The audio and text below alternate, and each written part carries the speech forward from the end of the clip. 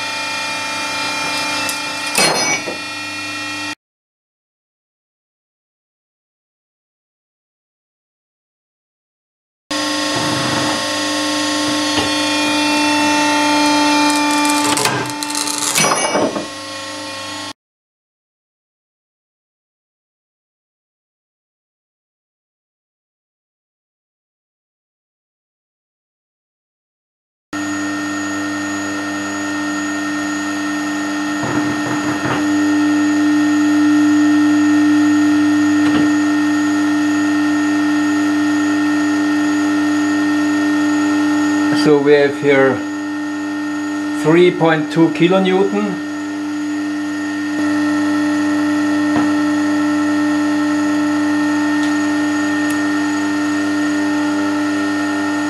Six kilonewton.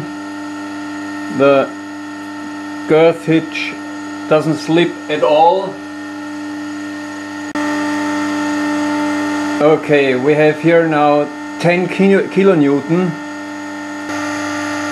at 10 kilonewton.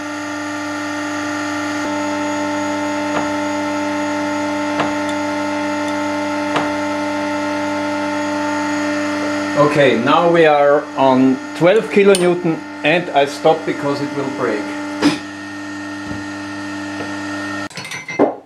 So, at 12 kilonewton um, I heard the first cracking noise that means it's going to be destroyed. We were, um, I don't know how far away from the breaking load we were.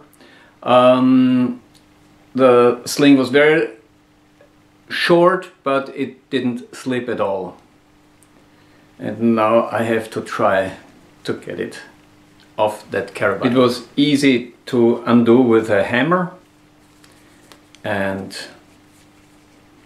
it's a perfect state.